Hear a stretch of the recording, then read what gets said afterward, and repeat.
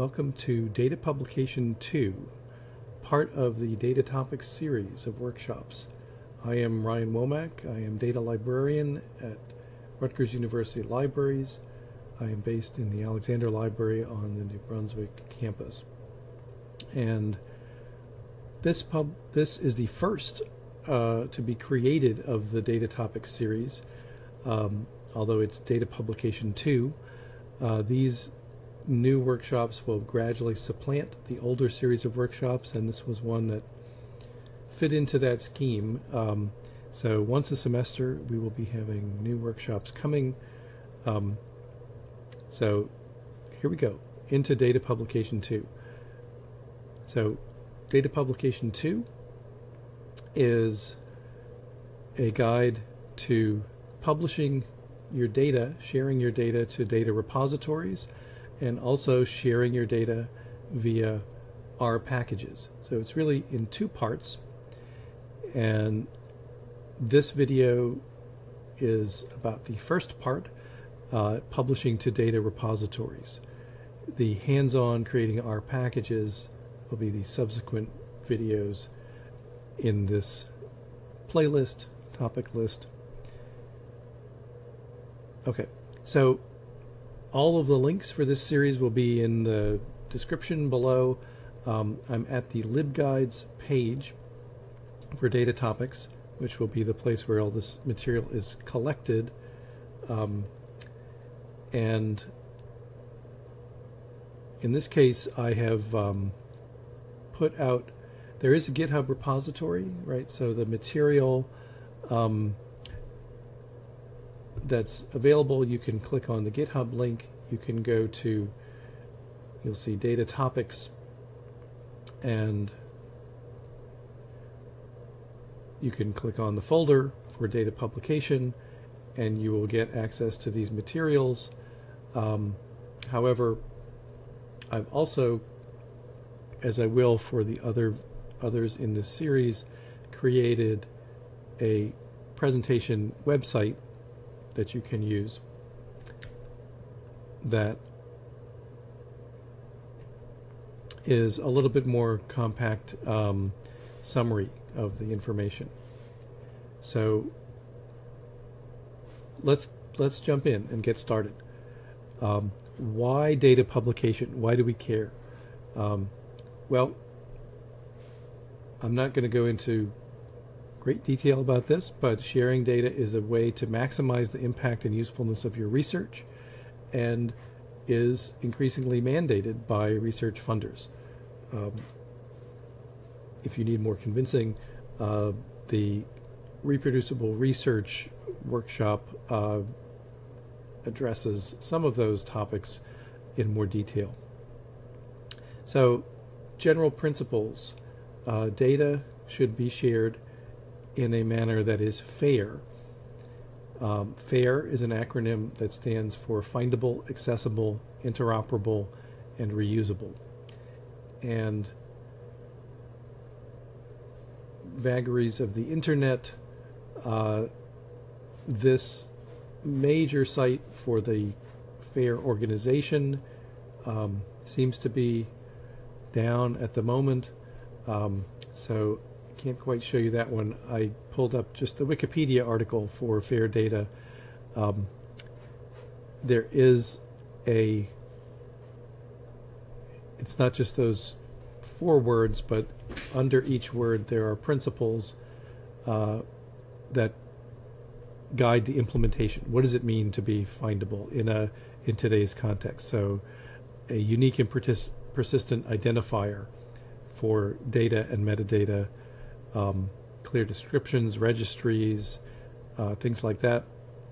Um, and they, the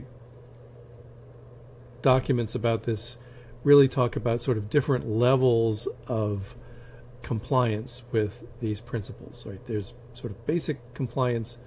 Um, is the data available at all? Is it accessible? Um, is it authentic, authentic, authentic, can it be authenticated? Um, can users find out information about the data even when the data is gone. For example, some data might be deleted for privacy reasons.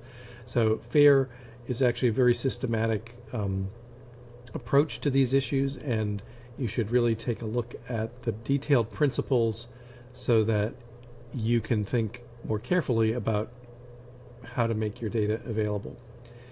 Uh, a slightly newer FAIR is, is you know universally acceptable uh, as a guiding principle these days. A newer set of principles uh, that is gaining ground and is worthy of careful consideration are the CARE principles for indigenous data governance. So, um, you know, the FAIR principles take a sort of technocratic uh, approach, you could say, um, that obscures some of the issues that um, are particularly important to indigenous communities, but I think you know actually Im- important to um, all communities. In, in fact, um, and CARE stands for collective benefit. That the data that's made available should be responsive to the community's needs. Right. That that we're making the data available for the purpose of collective benefit, authority to control. That the um, communities that the data is collected on um, have the authority to determine how that data is used, right? This is something that didn't often happen in the past, where, you know, subject populations were studied um, and their data, um, including, you know, things like human skeletons, uh, were kept without the authority of the community uh, to do anything about. Uh, responsibility um, that you know the whole data project um, is guided by responsibility and also ethical principles. So um, you can go from the site to get more information about that, articles, discussions. Um, just like FAIR, the CARE principles have sub categories to help you think more carefully about um, how the, the data is being governed, and these are definitely worthy of, of attention. So, uh, fair, be fair, and care is a very good way to remember uh, to use both sets of principles to guide your data data work. All right. So those are the, the general principles that I would highlight. Um, and let's talk about actually sharing your data.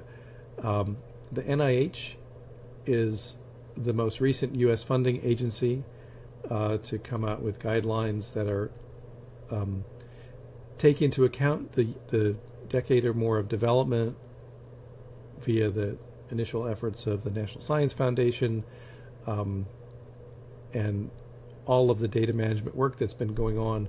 Um, and the NIH is the, um, you know, issues a massive amount of funding, and their princip- their uh, data sharing guidelines are very comprehensive. So, uh, at the time of of recording this video, this is sort of the latest and greatest wave of data sharing um, to come upon us. Uh, so the NIH has its own, you know, fairly specific guidance. Um, certainly, if you're in the NIH world, you want to look at this. Um, if you're in the NSF world, you want to look at their guidance. Um, but if you're not under the guidance of a particular grant, you still want to consider these these principles. So um, you know, the NIH talks about how to write a plan, right? We want to document and think about. The point of writing a plan is to think about all these issues in advance so that we know what to do with our data as it's being generated and at the conclusion of a project to find an appropriate place to share it. So, depending on the topic that you're working with, you know, NIH has its own uh, specific repositories, you know, a specific repository for a particular type of data, like genomics data, um, genotype tissue expression, right? It's like, you know, the data is very specialized, so it makes sense to have a specialized repository to support that. So you may find uh, that the repository that you want to think about uh, sort of naturally occurs. Other people doing this research are depositing their data in a specific um, place. The you know, traumatic brain injury research um, that's you know being conducted uh, has its own system for collecting that data, um, and it's basically going to depend on your field. We'll look at another uh, place where you can search for repositories a bit a bit later. Um, but for now, that's all I'll say about NIH. Uh, you know, their their site is very detailed. Uh, but what NIH also lists is a set of generalist repositories, and I would say this is a pretty good list. Um, to which I will add one source that is ICPSR to that, uh, which is more social science focused. But if you don't have a repository for your data, you're going to want to consider where can you put it. Um, and these are the leading, the most widely available um, generalist repositories uh, that will essentially, in most cases, simply allow you to set up an account and to create a little space where you can upload your materials, upload the data, upload the descriptive materials, and have a place that's internet accessible where people can find and discover your data. So, um, on my web page, I have italicized the ones that are, you know, particularly um, if you're not even sure among this list which ones you might want to use, um, the italicized ones are very wide ranging, very easy to use. Uh, so you might want to start with those. So I'm going to do a kind of quick um, tour through my tabs so we can see some of those. Uh, Dataverse is both uh, software to that manages repositories which can be downloaded and installed. Uh, so there are actually 106 uses of the software at the time of um, of viewing this, but the largest uh, place to use the Dataverse is the Harvard Dataverse repository. Um, so I just clicked on set up a personal Dataverse collection. The Harvard deposit repository is open, oh, and that one is a bit odd. Okay, let's go to this one. Um, dataverse.harvard.edu. Harvard uh, makes their resource freely available at this point, um, funded by you know, Harvard money, and you can simply create an account and it, it's actually a, a very good place to sort of manage uh, an individual um, collection, right? So you can you can have a collection that is either tied to a specific article, such as this replication material, um, I'm just going to randomly click on this one. So this Sebastian Jungkunz dataverse is Sebastian Jungkunz's essentially personal account, right? That he has. I'm assuming that's a he. I maybe shouldn't make an assumption, but um, this these are five separate data collections that Sebastian Jungkunz has uploaded. Um, you know, they get a nice page to host this, and when you go into each one, you will find um, data files, metadata, Uh, and this is all user contrib- contributed, right? So you you want to consider if you're going to use this, you want to make the data easily findable, easily discoverable, include not only your data, but include code books or data documentation files, uh, README files, however you want to describe your data. Uh, use the system that they have for keywords to um, put in keywords that will enable others to find your data. And of course, what all of these major repositories will do that um, is often you know something that you're looking for uh, that drives the data deposit in the first place is to have a DOI assigned. So the DOI is a digital object identifier, a permanent identifier to the the data source. And if we search for a DOI on the internet or go to well, that may not be the best way to do that. What I would recommend that's a little more careful way to do that is to go to doi.org and the DOI organization uh, has a tool to resolve DOI identifiers. We can paste it into the box and it will direct us back to the Harvard Dataverse, right? So that's a universal permanently available way to make the data findable. And the fact that the data is downloadable here, it makes it accessible. Um, and, you know, we're fulfilling that fair and care steps by doing this. Okay, uh, I've talked a little bit more about the setup of these, uh, but essentially all of the other um, data repositories that we look at will have a similar mechanism. Uh, create an account and follow their instructions to start uploading. Um, so this was the Dataverse of an individual. You could also do an organization.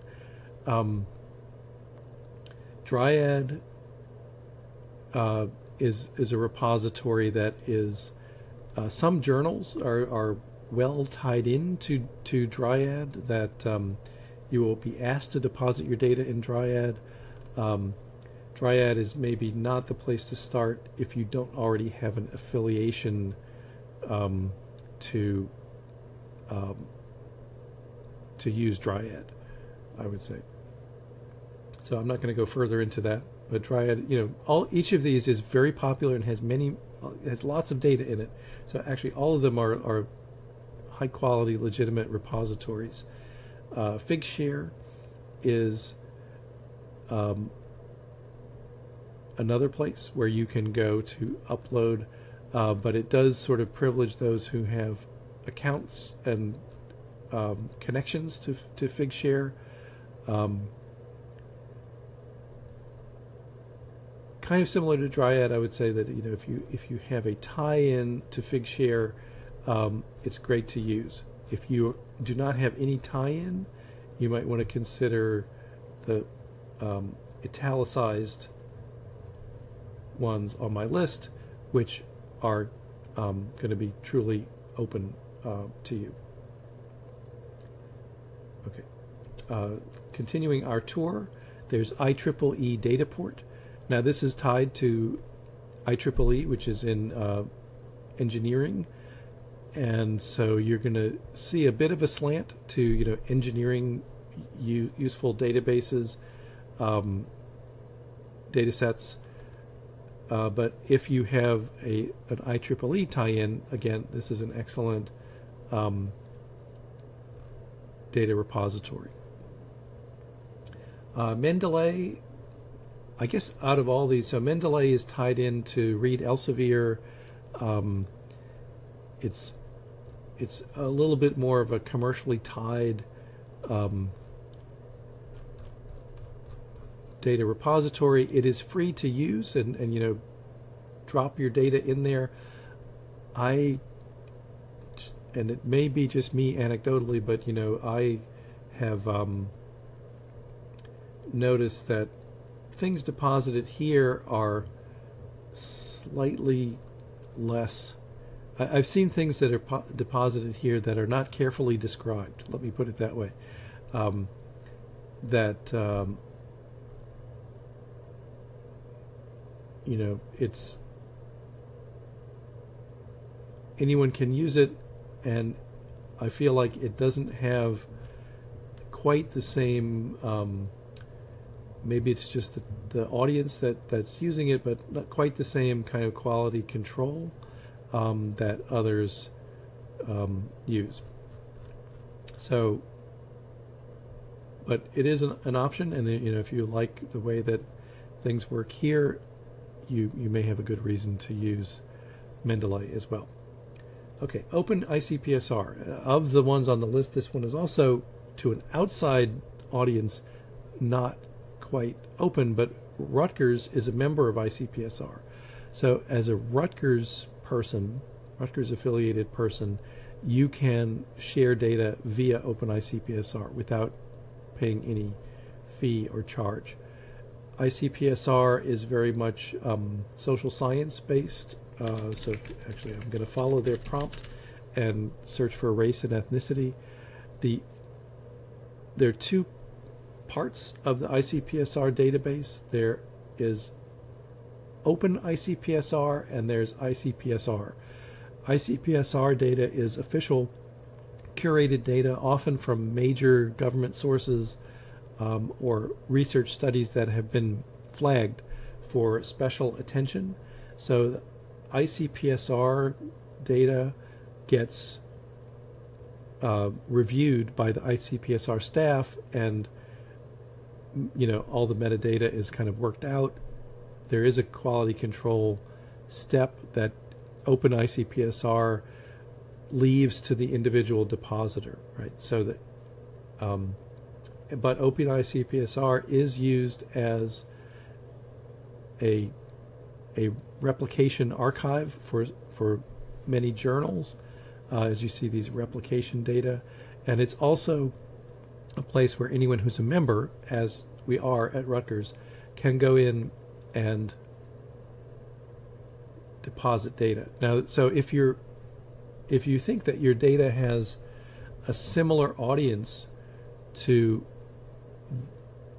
the kind of people who would be searching ICPSR anyway, like social science researchers, depositing your data in Open ICPSR means that when people search ICPSR, they will see your data. So, um, like the other repositories, it's up to you to provide your your data, your documentation, um, your README, your codebook, and provide your keywords. So you'd want to again take a careful look at how ICPSR typically does things, and align your use of descriptive uh, information with that so it works well with the rest of the database. Um, but uh, once again, this would be a great place to deposit data for a social science project. So, and that this is the one source that's not on the NIH list because it's not really health, uh, scientific health. Actually, it is. There's a lot of health data that is about the social impacts of health in ICPSR. Okay, so that's Open ICPSR. Um, Open Science Foundation, I guess I would say this one is um, particularly useful for uh, larger projects. I'm just going to continue with that example and see what we can find on race and ethnicity. One of their signature projects that they started with was um, trying to replicate psychology experiments uh, and they um, had 30 or 40 psychology journal articles that they tried to reproduce uh, the results using using data. Um, those kind of projects uh, at the project level um, work really well in OSF. Um, so if we take a look at one of these, you can see the project, you know, goes by a project title. Um, it's prompting me to, to create an account and do this for myself. Um, the project can have files organized in multiple categories, um, and you know it has recommended citations. Um, the fact that you can sort of easily structure folders underneath um, and also these kind of linkages um, that link you back to articles and other references. Uh, make this one you know it's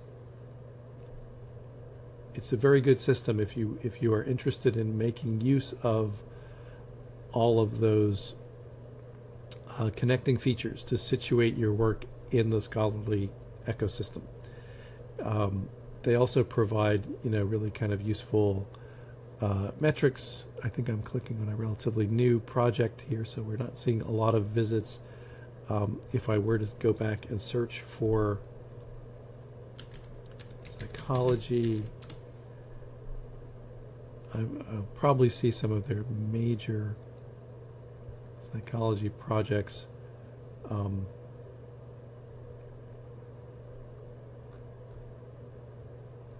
psychology, because of the way they started, uh, is is one of the areas that is well represented here. Um, and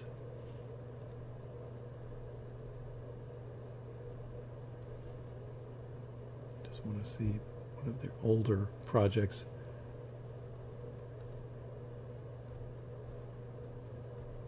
I think I'm not I'm, I'm not going to find the, the big study that I, I'm looking for, but you can see that this is this is a um, a site that has been around for a relatively long time in repository terms.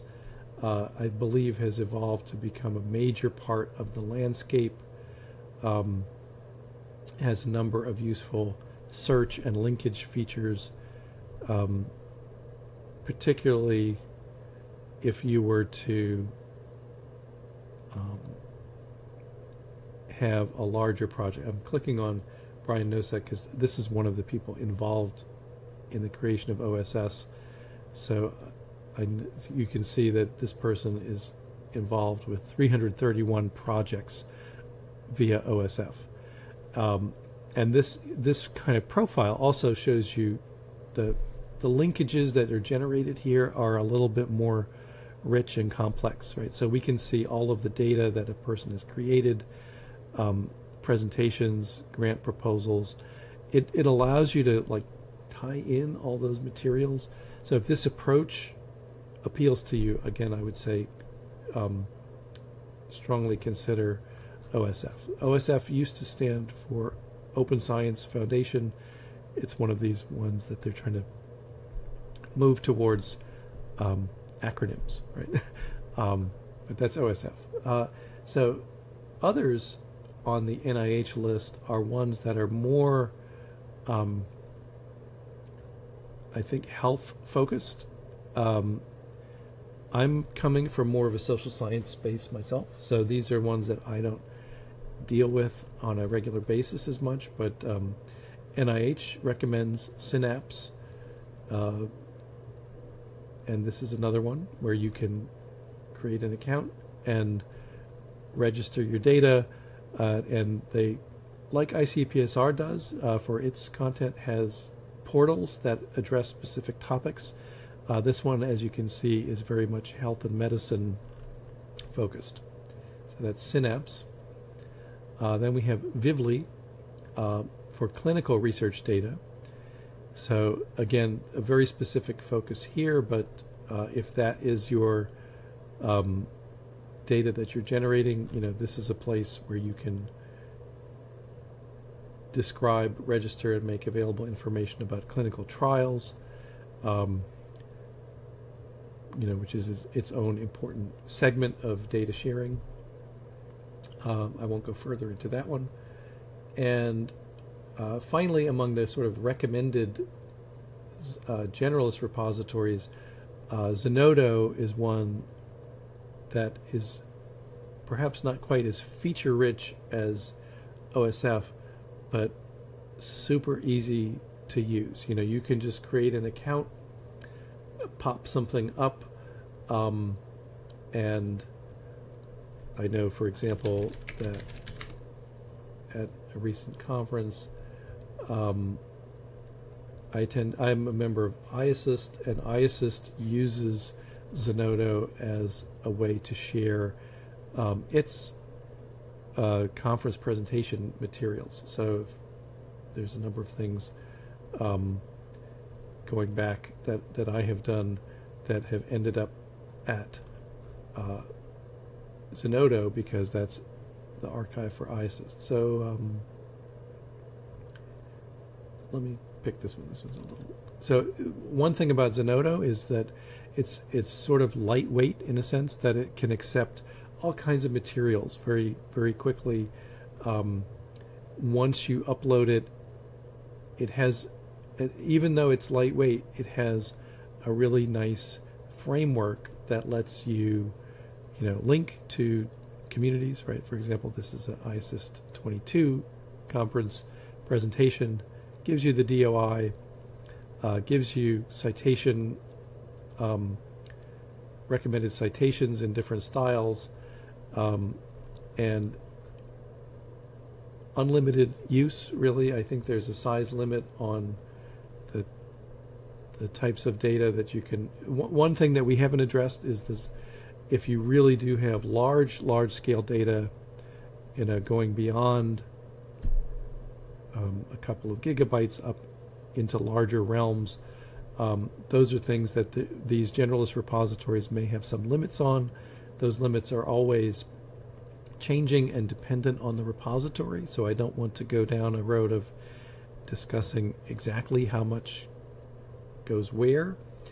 Um, but it is uh, it is an, an, issue to be aware of that these are general purpose. They're they're open. They're usable for wide range of of uses, but not quite the largest uh, data sets uh, typically.